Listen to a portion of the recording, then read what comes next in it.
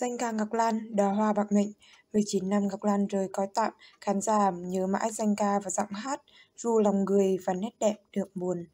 Ngọc Lan đến với âm nhạc tình cờ năm 1980, cô cùng gia đình di cư sang Nam California. Những ngày đầu ở đây, Ngọc Lan từng đi bán hamburger để kiếm tiền đi học, thì một cô bạn người Việt gợi ý cho cô đi hát ở quán cà phê. Đó là khởi đầu mà Ngọc Lan gọi là sự tình cờ này nối tiếp sự tình cờ khác – từ các chủ quán cà phê không ngại trả 35 đô cho 3 ngày diễn. Đến lời mời của nhạc sĩ Trần Ngọc Sơn, con trai út nhạc sĩ Anh Bằng, nhạc sĩ Ngọc Tránh, rồi rất nhiều ông bầu hải ngoại vốn nhút nhát, Ngọc Lan không bon chen, càng không tranh giành bất cứ thứ gì cho mình. Khi được nhiều lời mời, cô còn chần chừ mãi vì không biết làm sao. Nhạc sĩ Từ Công Phụng từng quả quyết, tôi cam đoan trong vòng 5 năm nữa, giọng hát này sẽ nổi tiếng như cồn khi Ngọc Lan chỉ mới hát nghiệp dư, sự thật, chưa đến 5 năm, giọng hát Ngọc Lan đã vang danh khắp hải ngoại, như thể cô có sứ mệnh, mang đến tiếng hát cho mọi người. Ngọc Lan khắt khe với nghề hơn bất cứ ai. Các đồng nghiệp kể nhiều ekip sợ Ngọc Lan vì thu thanh quá khó tính, danh ca thu rất cẩn thận, nhưng nếu nghe, danh ca thu rất cẩn thận nhưng nếu nghe lại không ưng ý, cô thẳng tay vứt bỏ hoặc chỉ dùng vài giây. Xong nhờ thế, hai cuốn DVD đầu tiên không ai chê được điểm gì. Với cung cách làm việc khó tính như vậy, cô vẫn ghi tên mình vào kỷ lục ca sĩ được mời thu nhất nhiều lịch sử với gần 800 bài. Ngọc Lan xuất hiện vào thời kỳ đầu tân nhạc, đi tiên phong làm MV. Các với những danh ca cùng thời, Ngọc Lan trông tây nhất, hình ảnh danh ca hiện là cô gái tân thời, xanh điệu, với tóc xoăn, đẹp dài và ăn mặc thời thượng. Cô chuyên hát nhạc Anh Mỹ, nhạc Pháp với lối hát mới, hiện đại, không liền lấy, phát âm nhài chữ khác hẳn với lối hát truyền thống. Ngọc Lan cũng đam mê lối hát ấy, ứng dụng vào nhạc trữ tình, tiền chiến tạo nên sức hút riêng.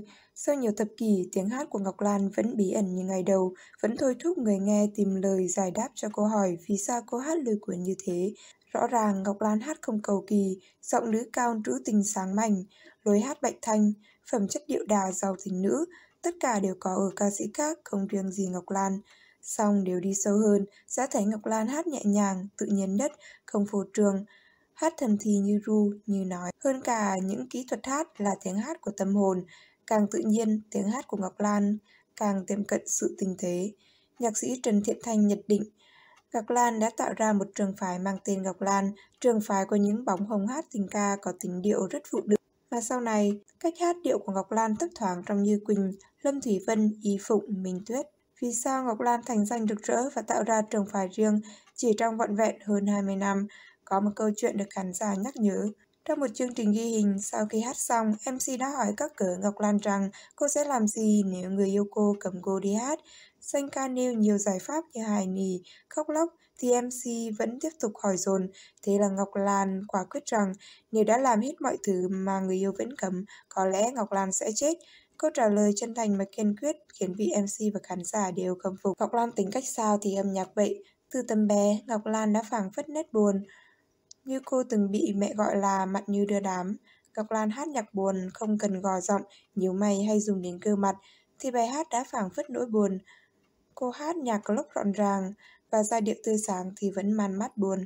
Đi cùng với vẻ điệu buồn đó là tính cách nhút nhát, cả tin, sống khiêm cung và dễ rung động. Trời sinh ra trái tim thường thật nhiều rung động, nhất là trái tim của người nghệ sĩ.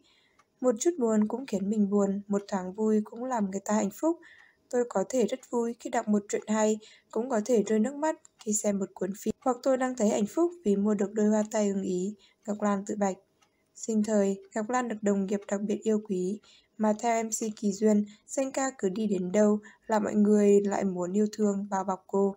Dù chị Lan đi đâu, không chỉ tôi mà tất cả anh chị em nghệ sĩ đều phải xuống vào lo cho chị ấy. Trong một chuyến đi bay, lúc chị Lan vừa trình diễn xong, lúc chị Lan vừa trình diễn xong rất thành công trước hàng ngàn khán giả ái mộ, hai chị em cùng ngồi hàng ghế đầu rất sang trọng, nhưng suốt chuyến bay chị ấy chỉ khóc rất mất thôi.